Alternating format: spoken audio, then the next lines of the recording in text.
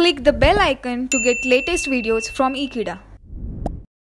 Hello friends, in this video we are going to start a new topic that is operational amplifier and triple five timer.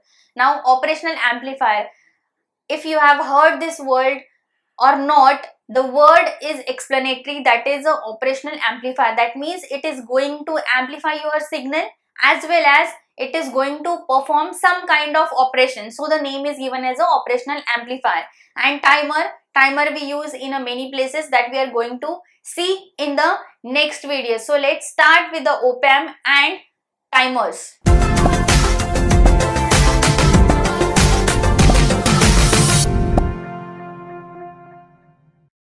So first of all I am going to introduce you what are the operational amplifiers are. Now in previously when we do not have the operational amplifier we were using some device to amplify the signal or to boost up the signal.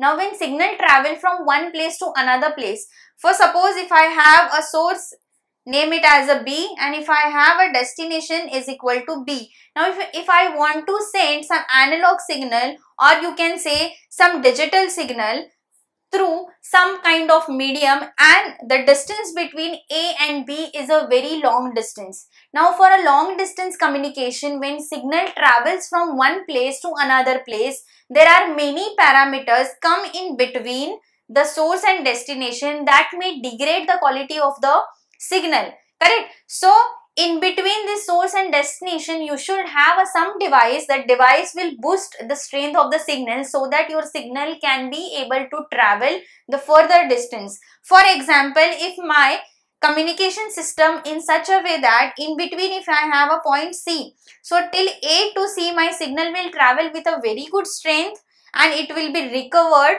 as it was forwarded. But after C due to the increase in a distance if my signal will lose some strength and it will lose the strength in such a way that at B I won't be recovered I won't be able to extract the information which will be contained in a signal which is to be sent from A. Now in this case what need to happen is at the place of C, the strength of the signal should be boosted.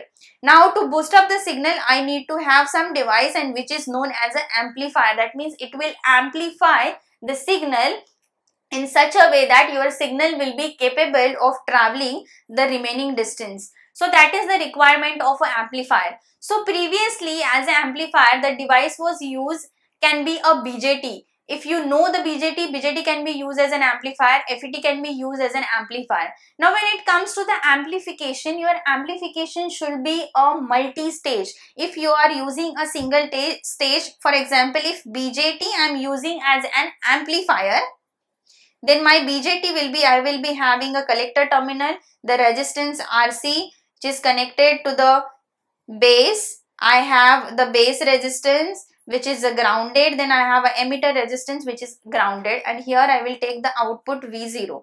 Now in this case my signal will get amplified. But if I am having the more number of stage that means this V0 is connected to one more BJT like this the VCC will be given and so on that means I am actually I am increasing the stages as more number of stages that the amplification factor will increase. If am amplification factor will increase, that means you will be get the signal which will be highly amplified and which will be the strong signal that will capable of uh, traveling the large distance. Now, if you are going on increasing the discrete component. So basically when it goes for a BJT or even though if you go for a FET, you need to have some capacitor. So bypass capacitors you required sometimes. Sometimes you required the coupling capacitors which can be connected over here or connected over here and then you will have to have a bypass resistor so these are the all capacitor resistors transistor these are the discrete components. So if you want to increase the amplification factor your discrete component will increase. As your discrete component will increase the size of the circuit will increase. And due to the increase in a size your device will become bulky. So this was the disadvantage. Now to overcome disadvantage the integrated circuit concept has integrated integrated circuit where integrated circuits are the concept is nothing but where all the components which are required are integrated on a single chip.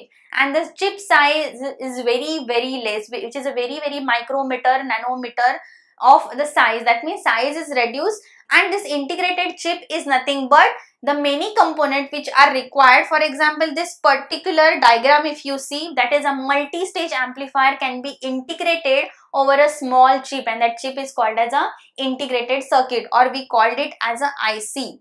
So the first IC as an operational amplifier was designed was mu A741. So this is the first operational amplifier which introduced can be used as an integrated circuit where the whole amplification stages are integrated on a single chip. So this operational amplifier is capable of performing operations like addition, subtraction, differentiation, multiplication and so many and obviously amplification. These are the some mathematical operation that can be performed by using the mu A741 or you can say IC741.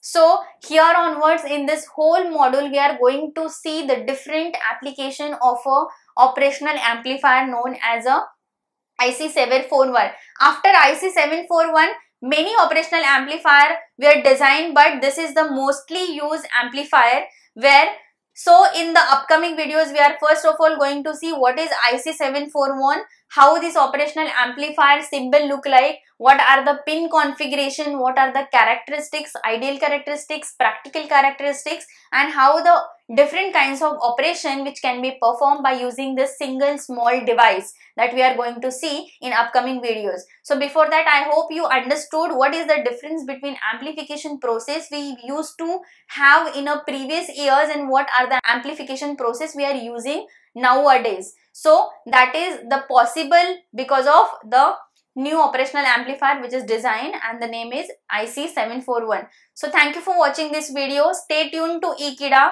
Do subscribe Ekeeda. Thank you so much.